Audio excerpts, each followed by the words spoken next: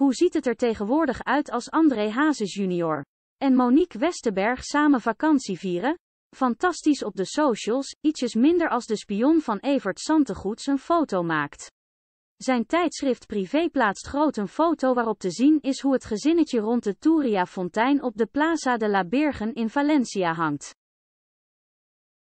Ziet het er gezellig uit? Nee. André zit in kleermakerszit op een trap, terwijl Monique en hun zoontje een paar meter bij hem vandaan zitten. Op zijn telefoon te kijken. Wie of wat is belangrijker dan zijn familie?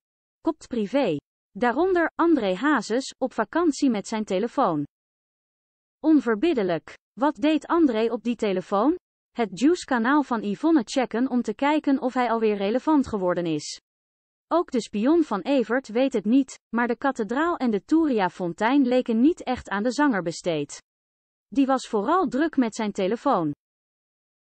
Wat denkt Privé er zelf van? Waarom zat André bij die fontein de hele tijd op zijn telefoon?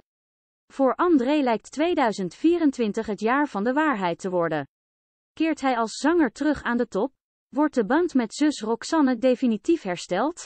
Wordt de vete met zijn moeder beslecht in zijn voordeel? Het tijdschrift vervolgt, het zijn vragen die misschien wel rechtvaardigen dat André Hazes zelfs tijdens zijn vakantie met vrouw en kind maar moeilijk los kon komen van zijn telefoon.